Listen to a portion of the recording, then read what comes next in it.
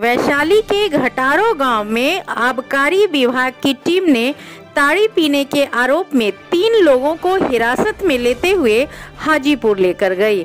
इसकी जानकारी मिलते ही ग्रामीण उग्र हो गए और लालगंज हाजीपुर मुख्य मार्ग को घटारो चौक के समीप जाम कर दिया। जाम की सूचना पर एसडीपीओ लालगंज गोपाल मंडल, करताहा थानाध्यक्ष गुंजन कुमारी, लालगंज थानाध्यक्ष राकेश कुमार पुलिस बल के साथ घटारो चौक पर पहुँचे, जहाँ लोगों ने बताया कि घटारो निवासी प्रकाश मुन्ना और मोहन कुमार को आबकारी विभाग की टीम हिरासत में लेकर हाजीपुर ले गई, जबकि वह नशे का सेवन भी नहीं किए थे।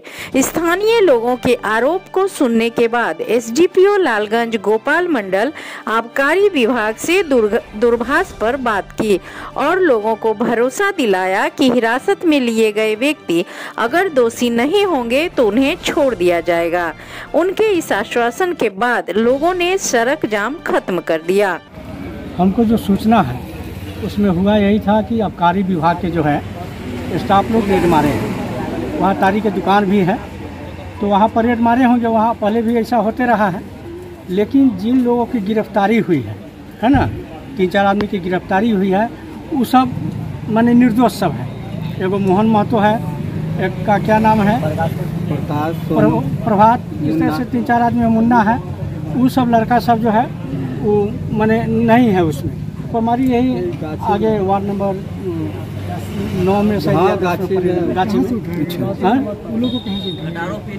उन लोगों को जैसे पुलिस वहाँ रेड मारी ना रेड जो मारी था उसमें जैसे मोहन है मोहन का यहाँ दुकान है।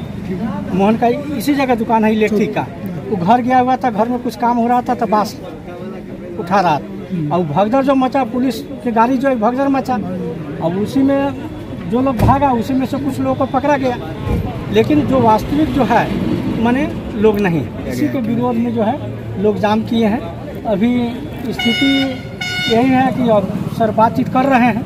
जानकारी ले रहे हैं कि वास्तविकता क्या है। क्या कुछ आश्वासन दिया गया है? हाँ आश्वासन मिला है।